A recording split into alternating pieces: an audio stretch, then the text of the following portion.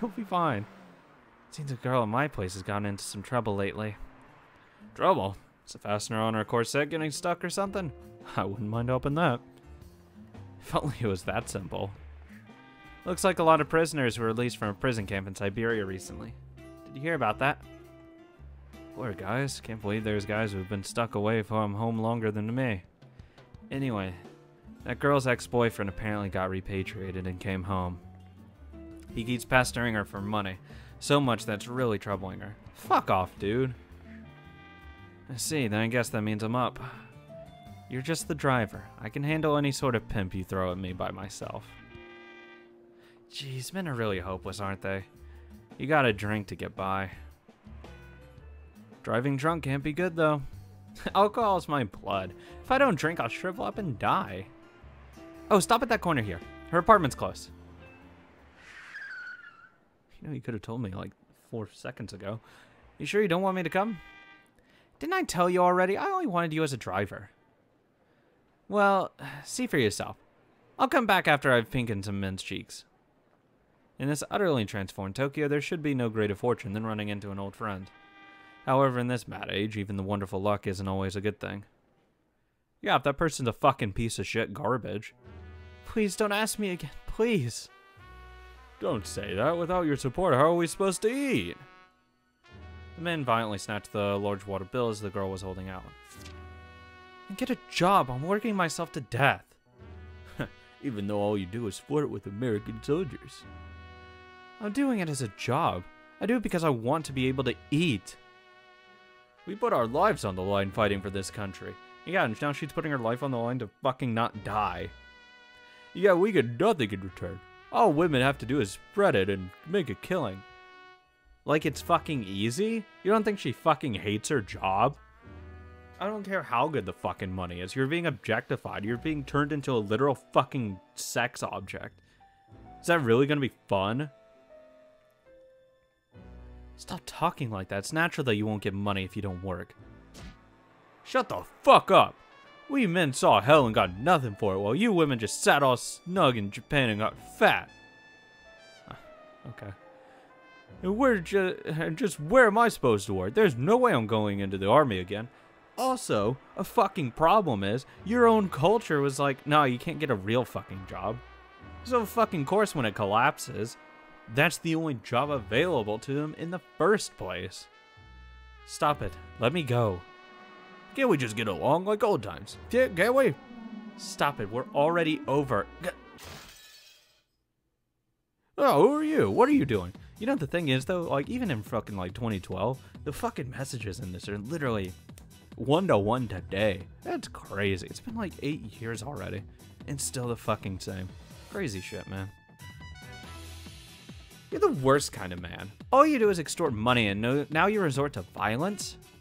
Meryl, just leave the rest to me, okay? I'll whip this pimp's attitude into shape. He's not even a fucking pimp. He's just a douchebag. What do you say? You think you fucking can? You want to know about me? Fuck this dude. Meryl's the real fucking pimp.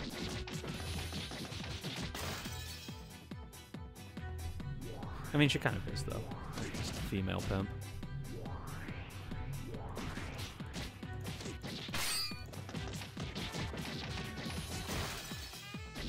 Thank you. I appreciate that shot. If you learn anything from this, you'll never come back again. You little bitch. Hey, what's up? What's going on here? Got a headache from this hangover. Can't you keep it down for a bit? One after the other, several men came out of her house, each uh, one stank of alcohol. What was her, a friend of your girls? What the heck? They're all living here? He said they were friends and brought them all to live here. I see, so they really are cockroaches. What's that? We're war buddies. Brother who made it through hell. You women all safe and snug in Japan, you'd have no way of understanding. Not my problem. If you want money, why don't you try working? Not fulfilling your duty to work, extorting money off a woman? You're worse than cockroaches. You're a cheeky old girlie, aren't you? I think I've taken a liking to this one. Don't you look pretty all dolled up like that? You're earning cash, right? Why don't you ma- give me a little something? Yeah, sure. I'll give it to you. My fist, that is. Though, um, uh, looks like there's just a few more people here than I expected. Seems you got confidence in your strength, and there's not much you can do against this many, huh? Leo, you want to be hung out to dry, and or are you gonna apologize and hand over whatever you got on you? Or you'd like to smooth, soothe our war-wounded hearts with that body of yours? Meryl, run. If I run, what happened to you? Running is something I can't do. If we're talking about the hells we lived through, there's no way I, Meryl Tanashi, am gonna lose to the likes of you. You know, if you really look, she's actually kind of pretty, ain't she? We're gonna make you regret being born a woman. Yeah, fuck off. What? Who the hell are you? Just a passing taxing driver. Ah, have any orders, miss? Perfect timing. Could you make a quick trip to the hospital? These guys look like they need help. Anything for you, miss. Fuck. I would not want to get hit by a bottle from her, though.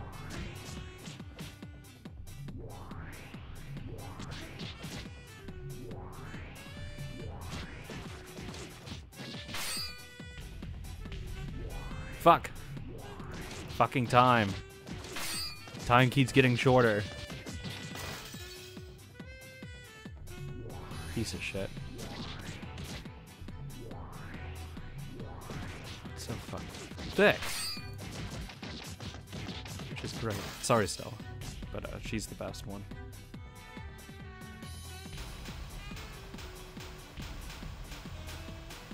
Good enough, whatever.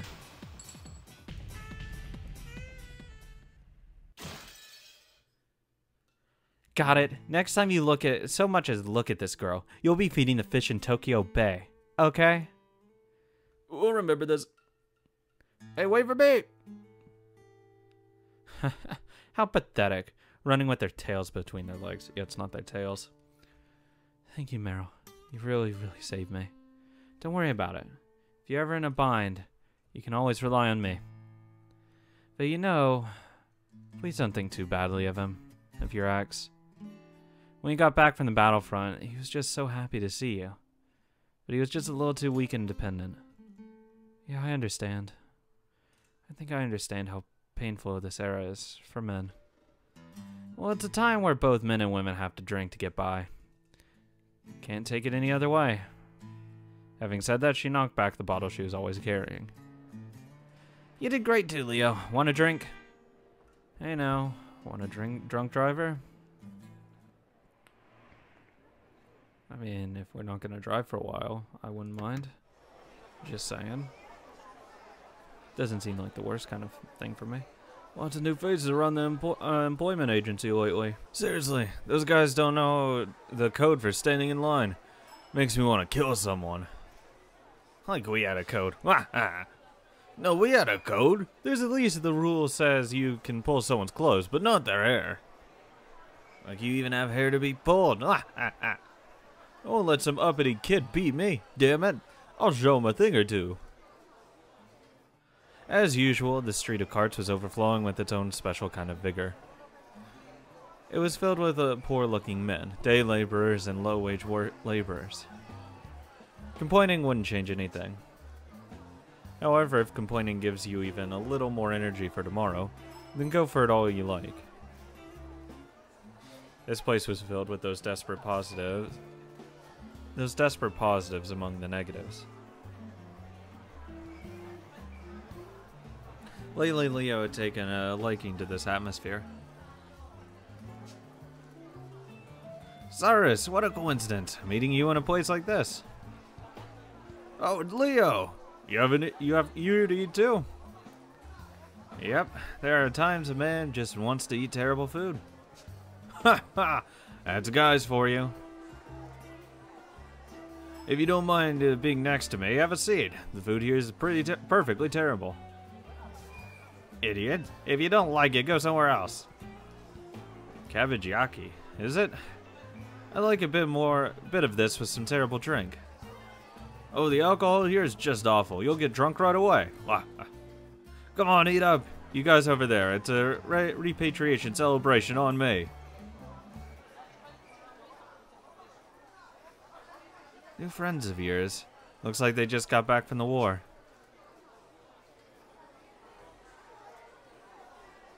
Uh, we were at a prison camp in Siberia. There were some, some sick people on the boat. We got quarantined for a while. I only got repatriated a short while back too. Tokyo must have made a made you do a double take, huh? I can't believe it. How can this be Tokyo? Everything's English this, Chinese that. This is Japan. What's wrong with only being able to speak Japanese? Looks like they're all having troubles, unable to get a decent job. So let's go back to the military or fight over a few jobs in the employment center. Or else go, or else go take an English language course. What a terrible era it's become. Yeah, that's the worst option. Fucking, would you rather do fucking shitty military labor and then possibly get shot if we ever go into a war? I don't know, take an English class. We could just employ them at Primavera. Right now we don't have any bodyguards except our little group, right?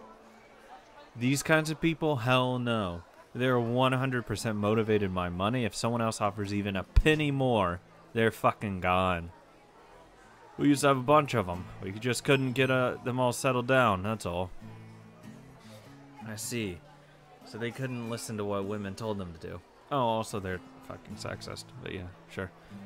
The guys who came back from the battlefield are a rough bunch. They might be used to be used to a stern-faced sergeant yelling at them, but being managed by women ain't something they're used to. Get over it. Weren't you a ser demon sergeant, uh, sergeant yourself? I've heard the rumors. Yeah, during the war, I've got no desire to look over a runt bu uh, over a runch buff bunch now that the war's over. Anyway, I'm Richard's bodyguard. I drop by Primavera now and then, but not every day.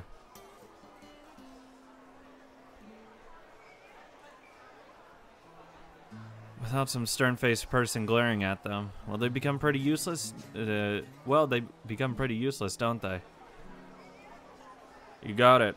They get more and more worn out, turning into problems that just drink and get drunk and make trouble with other customers.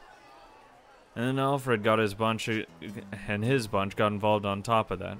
They just got scared and got bribed and gave up. Yeah, I mean, what else are they gonna do? Men are fundamentally soldiers.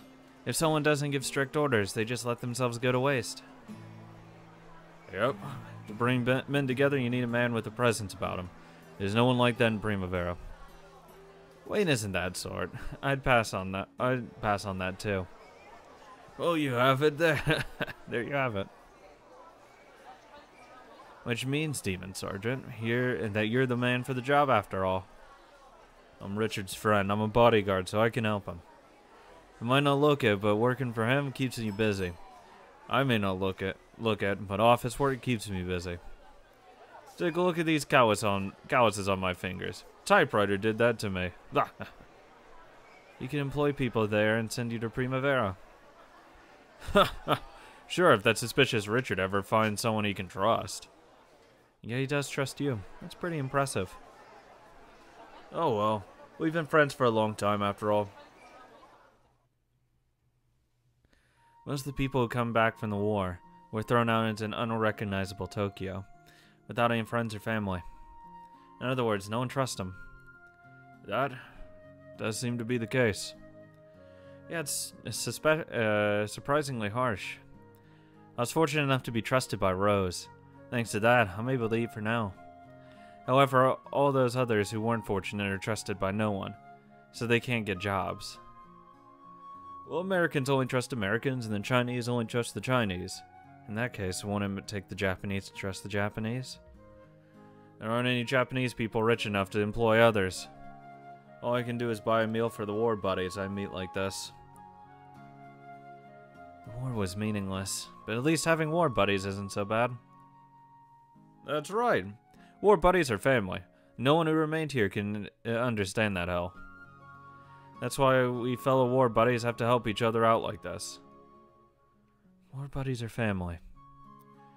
Even you must have had some friends who fought with you on some battlefront, right? Well, maybe. Public order being bad, and the depressing, poor atmosphere. It's all because there's no jobs. Well, the jobs are out there. The Japanese just turned them down. Only the Japanese language were English or Chinese. Exactly, when our ancestors inherited their culture from the Chinese, why the hell didn't they make their language Chinese too? If the Sea of Japan didn't exist, and this was just another part of the mainland, a country called Japan might not even exist, and we'd all be Chine Chinese in the first place. Chinese sure have it good. Their spirit of aiding their countrymen really is impressive. Make sure you don't try picking a uh, fight with a Chinese man in Chinatown. You'll be surrounded by the Chinese mafia and thrown in some rice field. Fried rice. In the same way, it's best not to pick a fight with an American. That's right, the American army moves fast when it comes to protecting their people. Yeah. So if someone picks a fight with a Japanese person in Tokyo, who's going to get revenge? That's what happens when you're a member of a sixth class, war-losing country. If you hit a dog, you'll get an animal rights group after you, but no one complains if you hit a Japanese person. Anyway, there's a lot of people out there who are unsatisfied. People that are joining together and calling themselves war buddy groups. At first, they're pretty much vigilante groups, but they quickly start roping off their turf and demanding fees, turning mafia. And at the top of the list of groups talk, uh, taking those people in and expanding their influence is that pack of Alfreds. Yeah, but we fucking took the head off. Rumor has it that Alfred's been beat up by some guys and sent to the hospital. Sounds like the other Mafia have started fighting over supremacy in City 23 now that crazy Alfred's away. True, I mean, there will be a power vacuum. If the feuds get bigger, Mafia will, hiring will shoot up too. That's it, and the city will get more dangerous. If our luck had been just a bit worse, Alfred might have been our boss. Sounds like he's been treating his underlings lavishly. Might not be so bad to have him as an employer. yeah, but I get treated with hot girl, so it's like whatever. Would you rather have money and no cute girls, or money and a lot of cute girls? I'll take the latter. And he really did help us that other day. We were able to find the lieutenant safe too. Come on, don't be so stiff. If anything happens in the future, just ask. We're friends who've, bo who've both eaten army food. So war buddies have it good. Are good to have. Thanks. That's right, we war buddies have to help each other out. When we came back to our country after fighting with our lives on the line, just who was here waiting for us? No one, that's who. No one would accept us. Nowhere to work, sometimes nowhere to sleep. That's right, no one would accept us when we return from the battle lines. That's why we've got to help each other, and that's why I'll help a war buddy like you without conditions. So in the same way, if you see a war buddy suffering somewhere, help him out. Yeah, yeah, we'll never abandon our war buddies. The bond of fighting together is our pride. That's right, men. Our bond as war buddies lasts a long time, a lifetime. Can't wait until this guy becomes an enemy. Yeah. And we'll never abandon a war buddy. Except when we do. Shishigami, don't misunderstand. This isn't about anything that happened on the battlefield. It's just about helping each other in the future. We're here right now. This is this isn't the battlefield anymore. We just have to help each other here. Don't you have anything you've left forgot? Don't you have anything have anything you've left forgotten on the battlefield? I do, just like you. However, even if you forget, no one will think badly of you. In fact, if it's painful, then just go ahead and forget about it. I realize a lot of us have gotten a fresh new start and taken new English names, just so they can forget. Barnaboshi Bushi was filled with all repatriated soldiers. It might have be seen as a shady bar where rowdy people gathered, but if you listen to their conversations, it'd change your impression considerably. Don't know where my wife's or daughter, wives or my daughter's graves are. The place my house used to be is a public restroom now. At least you could find the place. With all the streets and everything moving around, I don't have a clue where my house was. But even if we don't know, this place is our homeland. That's right, this is Japan. It's the Japan all those dead ones wanted to come back to so much.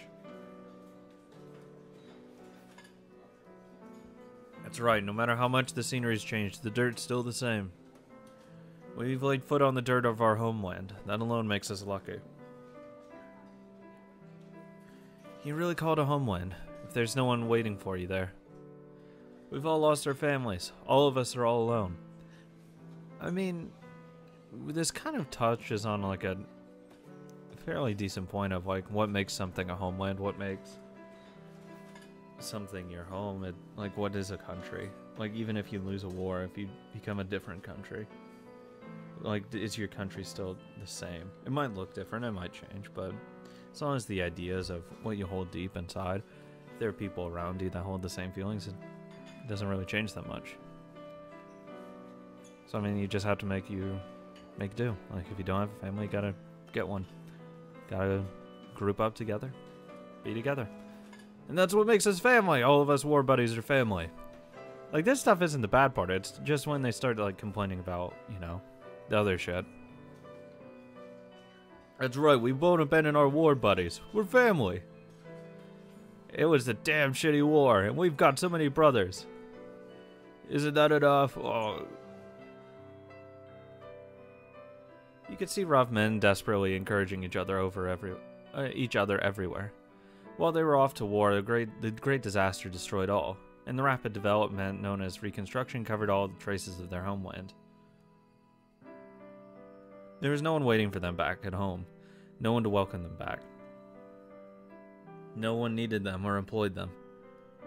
They were just sad men who could do nothing but bask in alcohol and encourage their fellow war buddies. Even that's much better than it used to be. At first, they weren't weren't able to accept their change their changed homeland.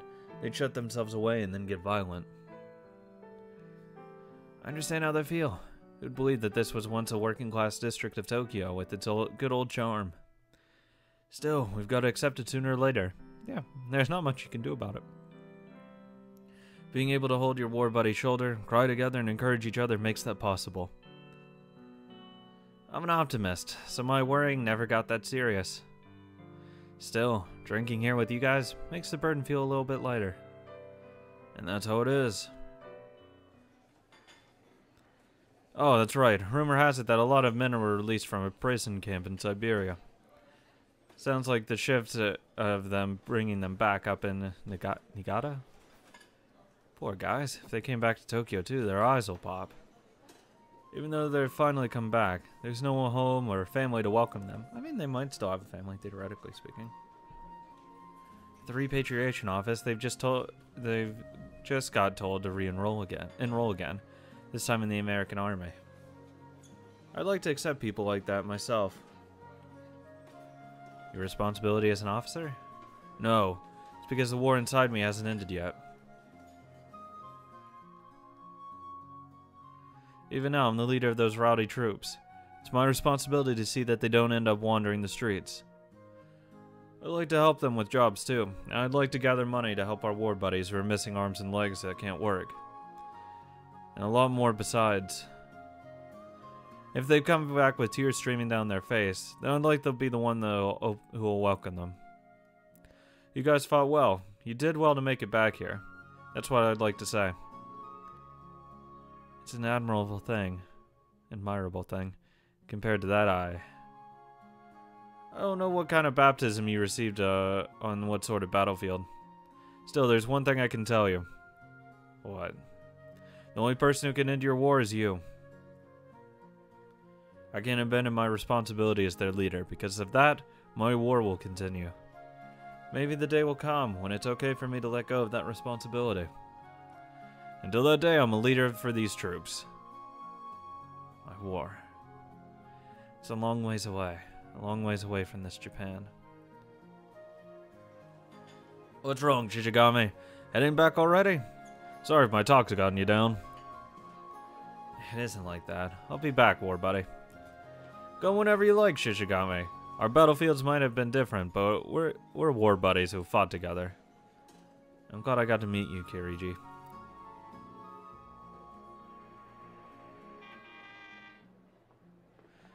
By taking the name Leo, I was trying to forget my old self. But I can't forget. I'll never forget. Those people who spoke uh, of their future near the blue sky, under the blue sky, covered with sweat, but with their eyes clear and hopeful. I wonder how they're doing. Let's try Leo Shishigami. The person who showed them those dreams and then betrayed them was you. Only you.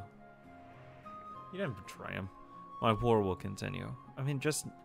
I'm assuming he means, like, losing means he betrayed him, but I mean, you didn't betray him, dude. You just...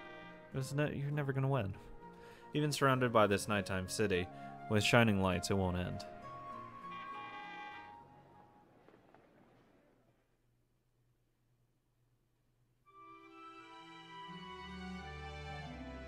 The city was overflowing with unemployed people back from the war. Of course, that wasn't a good wasn't good for public safety. Yes, that makes a lot of sense to me. It is inevitable that Japanese men would drift into the criminal underworld and form mafias. Humans are at their worst when they have nothing to do. No matter how low the pay might be, they're at their worst in an environment where they cannot work. But during the fierce reconstruction of that time, weren't emergency funds poured into Japan? Oh, right. Language. That's right, the fact that they could only speak Japanese made the Japanese people feel outcast from those reconstruction funds. Both Americans and the Chinese, no, all the peoples of the world, will not trust people they can't communicate with using language. That's true. That's really true.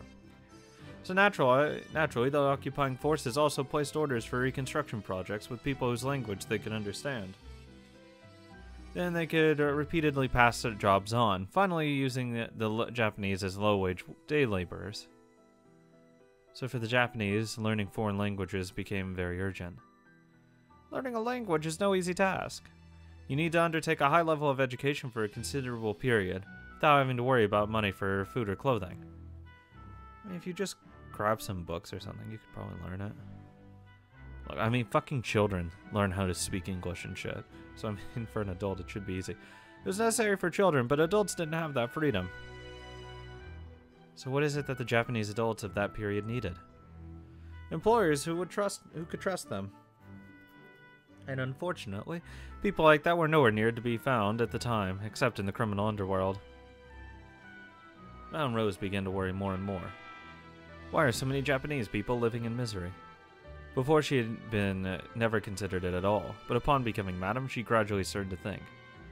No, perhaps it was directly because she had a sense of responsibility, double that of a normal person.